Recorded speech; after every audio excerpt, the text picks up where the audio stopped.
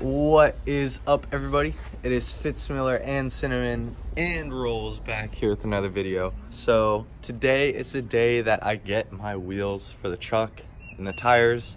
I'm gonna get them on and it's gonna look awesome. That's gonna be later today. For now, it's super early and it's super cold. So I wanted to give you guys a sound clip of Cinnamon starting. Me and sounding 325i in my opinion. Let's get it. Check out that fitment by the way. Ooh.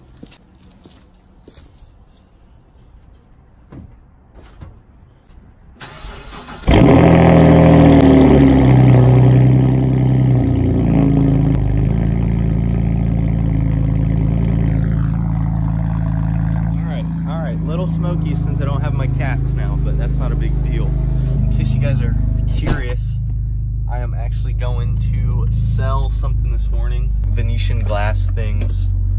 Or they're like decanters or something. I don't I don't even know.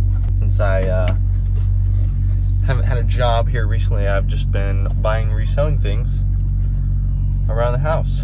So anyways, I'm gonna go do that right now and I'll catch up with you guys after. That was easiest 20 bucks I've ever made. That guy was really cool. He actually had a blue S4. I think it was a B5 S4 with almost 300,000 miles on it. It looked great. Obviously kept care of it. That was that was really cool. So now it's 8:30 in the morning and I have nothing to do. I'm gonna see if some buddies want to go get some breakfast. It is a school day and I graduated early and I need a monster. And then I don't know, might play some Apex Legends find something to do. So you guys are coming with me. I did stuff to the truck last night. I'll go ahead and show you guys that right now. I okay, that's weird. Whatever. I painted these black to match the grill, which looks awesome. Did this one as well, and then I also did these little hood inserts. That's looking really good. So my wheels still not ready. It's it's 11 right now. I don't know if I told you guys that or not. It is freezing, freezing cold out here. I don't have anything else to do except just wait for the wheels. Next time I see you guys, we'll be heading over there. I just got off the phone with Econo Paint as well. I think that's who I'm gonna go with for paint. It's gonna be about 500 bucks.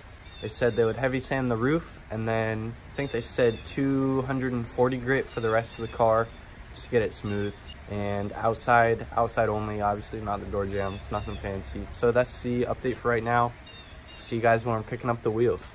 Update, it is still raining and there's still a puddle in my truck bed. So we're gonna go ahead and take care of that right now. Uh, it's like two o'clock. The guys with the wheels were saying he would try to get it done by three. He said he would definitely have it done by the end of the day and they were super backed up. We're still getting the wheels today. Don't worry about it.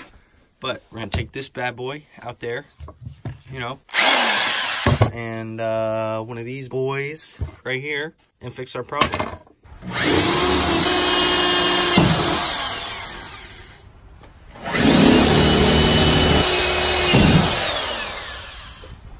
So I got the truck on jack stands and the jack.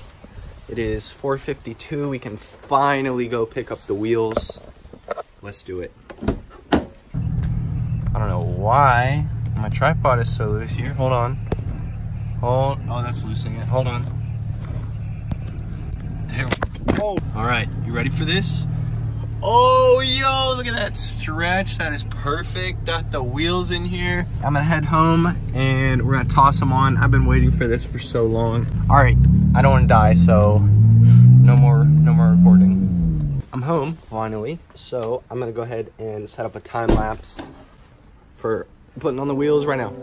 This is a Chuki Beat production.